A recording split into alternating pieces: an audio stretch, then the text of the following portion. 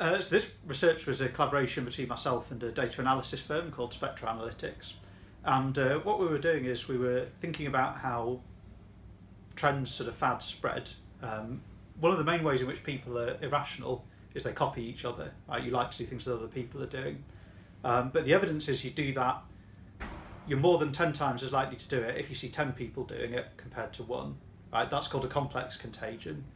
And things like actual viruses like flu or um, you know scarlet fever, if you get 10 people who might infect you, that just is 10 times the risk.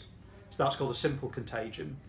And what we were doing is we were saying, are things like memes, like, you know, in the, the case we looked at, um, the ice bucket challenge or um, other things like planking, are they more like the complex contagion, where seeing people getting involved is very persuasive, or is it like simple contagion where it's just like a, a normal virus like flu?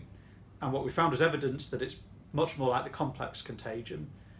And what that means is that we expect these memes to really zoom up uh, much faster than, you know, Ebola or flu or, or other actual viruses.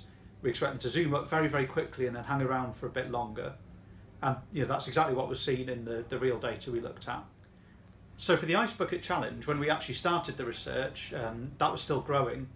And what we did is we compared it to something else where people nominated each other, neck nomination, which was uh, to do with drinking in public.